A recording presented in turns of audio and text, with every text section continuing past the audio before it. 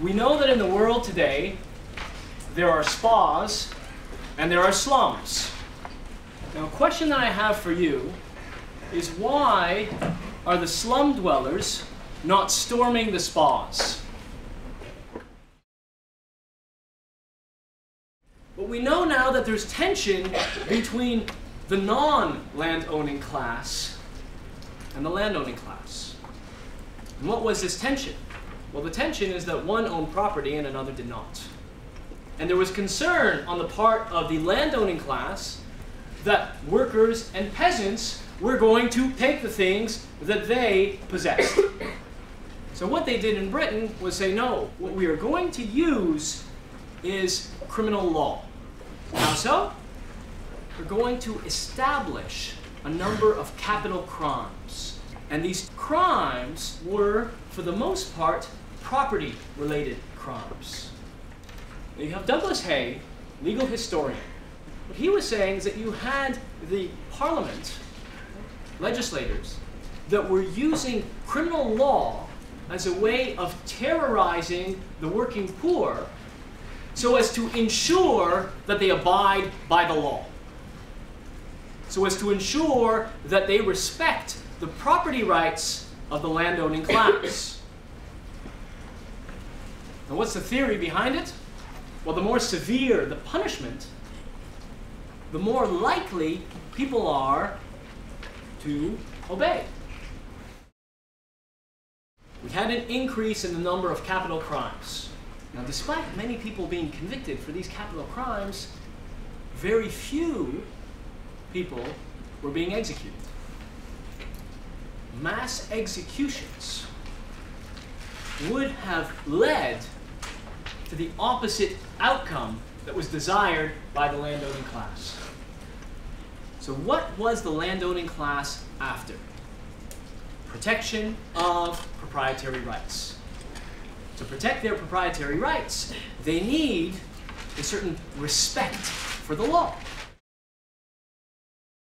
Imagine historically, you're living in your little village, and all of a sudden the king's court comes through with all this pomp and circumstance, and trumpets and fanfare. And they're coming in and they're wearing robes, all kinds of regalia, and they're wearing wigs. And they're passing judgment on these now criminals. That carried a certain weight among the populace. That in itself was so impressive. The majesty of the law had a deterrent effect without the carrying out of the executions. Law has a dual effect. Now, on one hand, we have law's oppressive power.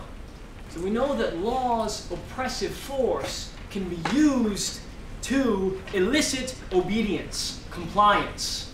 Why? We're afraid of being punished, so we obey.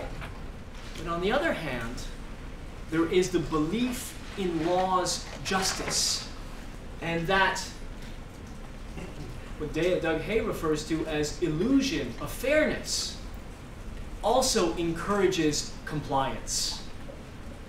So what you have then is a balance between coercion and consent. So if you were to use coercive power alone, then that is a recipe for an uprising. But if you can get people to consent, then the chances of an uprising diminish significantly.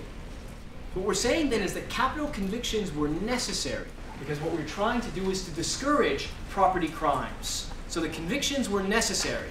There is now the fear that I am going to be put to death. But then mercy came in and I was spared. And what that mercy did was far more powerful than the capital convictions. Because the mercy encouraged everyone else to believe that ultimately the law is fair and the law is just. The point is that people believe that justice will prevail. An innocent person cannot be executed. This cannot happen. Because if it does happen, then it means the entire system is flawed.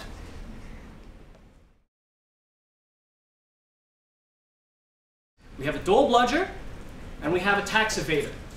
Both of them are stealing from the system. But if we were to look at the media, and if we were to look at politicians, we see a bit of a double standard.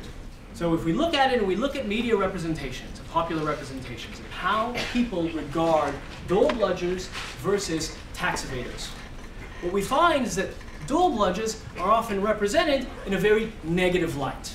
A negative light will often involve accusations of laziness, drug addiction, bad parenting, the list goes on. Parasites, leeches upon society. We're a little more sympathetic towards tax evaders. Now, tax evasion is fraud, just like dole bludging is fraud. But the representation ends up being extremely negative on one side and not as negative on the other. So here we have two groups of people who are ostensibly doing the same thing, cheating the system. But the act itself is not what we're concerned with. Because if the act itself were what we were concerned with, then both would be punished based on the harm they've caused to society, the injury. Now, what are we concerned with? What, is, what are we regarding as deviant here? Is the act of cheating the system deviance? Or does it depend on the individual who's committing the act? And that's more a rhetorical question for you to think about. The point is, what we regard as injurious behavior to society depends not on the act itself, but rather who's committing the act and who we believe to be harmed by the act. Now, the question that I have for you is whether or not the majesty of the law is alive today.